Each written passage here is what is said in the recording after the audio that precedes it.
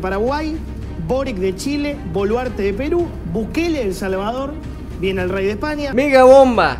Viene Bukele Argentina, confirmado para la asunción de Milei.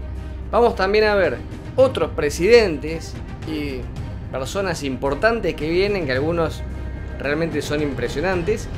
Y también cómo va a ser el recorrido que va a hacer Milei para la Asunción y claramente para que lo vea la gente también. Confirmados, Lacalle Pou, Sí. presidente de Uruguay, eh, Peña, presidente de Paraguay, Boric de Chile, Boluarte de Perú, Bukele de El Salvador, viene el rey de España, obviamente, y viene Víctor Orban, el primer ministro de Hungría.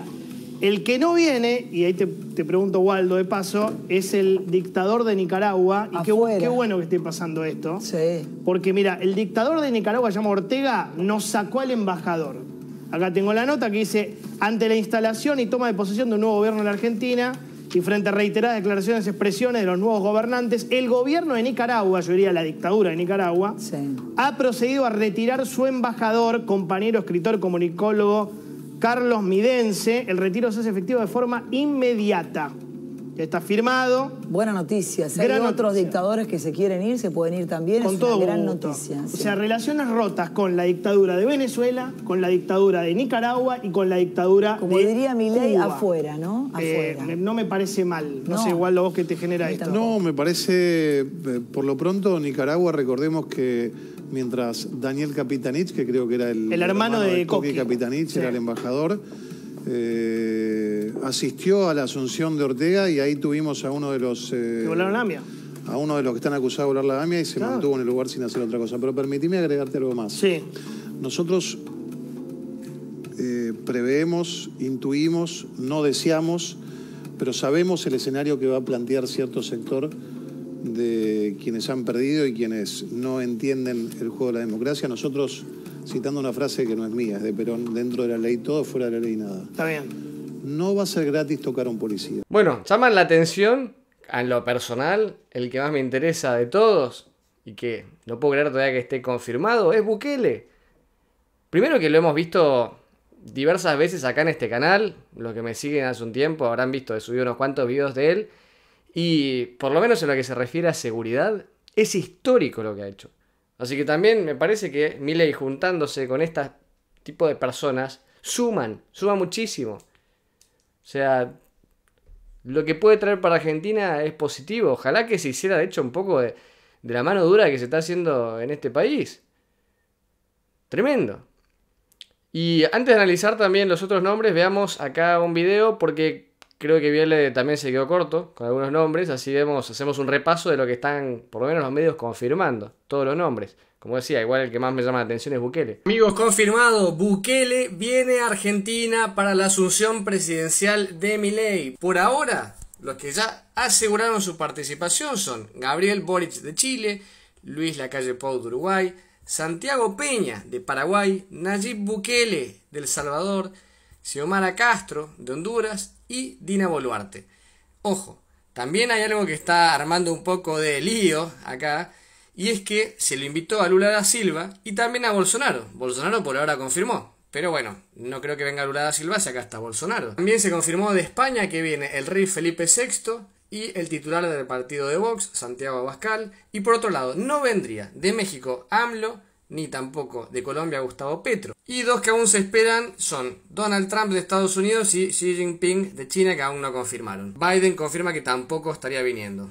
Bueno, aparte de Bukele, grandes personalidades, me parece que también me llama la atención que venga Boric de Chile, en el sentido de que él es socialista, es de izquierda, eh, está más cercano a Alberto Fernández, claramente. De hecho, tuvieron cierta relación, llamémosla positiva.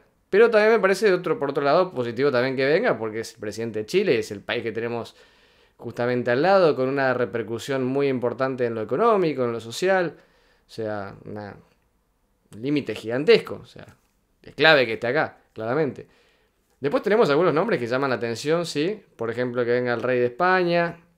O mismo, si llegara a venir Xi Jinping, que el mismo Milei se ha encargado de decir cosas negativas, sería también interesante. Ojalá también que pueda venir Trump, no porque esté a favor o en contra de él, no, más bien por algo de que sabemos el peso internacional que tiene. Biden, como escuchamos, no es que realmente no quiera venir, sino que ya tenía otros compromisos aceptados previamente, así que no me parece algo ni malo ni bueno. Pero de todos los nombres, donde me parece que se pone más picante y más interesante es justamente Brasil. Gran socio comercial encima.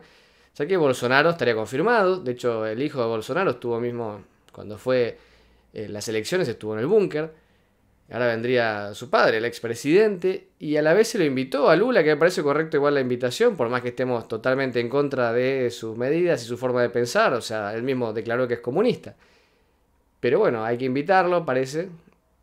Pero si está Bolsonaro, no creo que venga Lula, eso lo veo muy poco probable. Y miren también acá Johnny Viale que analizó un poco cómo va a ser el recorrido, me parece también interesante. Ahora sigo, déjame mostrarte algo y a vos Vivi también. En seis días está asumiendo el nuevo presidente, Javier Milei. Seis días. Eh, nada, ya está, nada, claro. es la última semana cuenta de, regresiva del kirchnerismo. eter- eterna prácticamente. Mirá, ¿no? seis días, mirá, ya tiene la banda, seis días para la asunción de Javier Milei. Me cuentan que hay altas chances de que Milei use el famoso Cadillac de Perón, no sé, están viendo, no quiere. Milei lo- acto de asunción. Milei lo- en el trayecto que va del Congreso a la Casa Rosada. O sea, Milei hablaría largo, me dicen largo la ley. Creo que lo arreglaron, pues estaba roto, no A mí andaba me dijeron corto. Ah, mira. Ahí está. Fátima. ¿Que no? ¿Te dicen que no? A mí me dijeron que hoy, me, me decían en la radio que, que tiene un discurso corto. Ah, mira. En principio, pero puede que tenga mala información yo. A mí, mira, e- e- ese sería el trayecto que iría, de- exactamente, el Congreso a la Casa de Gobierno, Bien. hay que ver si lo usa.